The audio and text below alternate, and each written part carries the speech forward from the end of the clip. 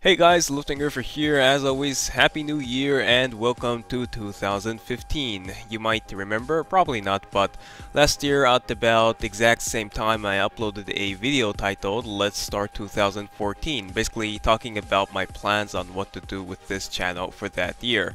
So for this year, I thought I'd do the same, trying to give you guys a heads up on what's going to happen to this YouTube channel.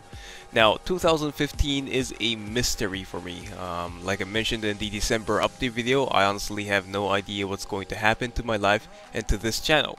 But I'm going to try my best to explain you guys what my plans are and what exactly happened in back in 2014.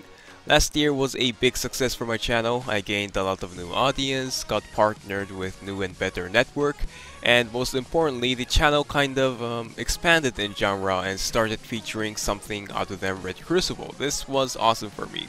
And all of these are of course due to your support to this channel, but also because I spent enormous amount of time recording the footage, editing them out, and managing the community. Why? Because I wanted to make a living off YouTube. Be ambitious, right? I had to bring money involved in this video, but what can be more awesome than receiving enough money to live by doing what you truly enjoy doing? Of course, I'm not expecting, or I wasn't expecting to make enough money to support myself in just a year, but still 2014 was kind of a trial period for me to examine what I can achieve while putting 100% effort to this channel. And the tough conclusion is that it's not going to happen, at least not in near future.